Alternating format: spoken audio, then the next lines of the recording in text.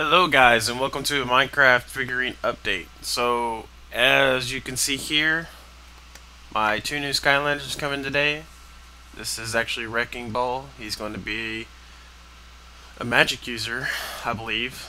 So he is going to be the new Skylander that's going to be in our lineup and we also have Stump Smash, which is a life, I believe, yeah, life element.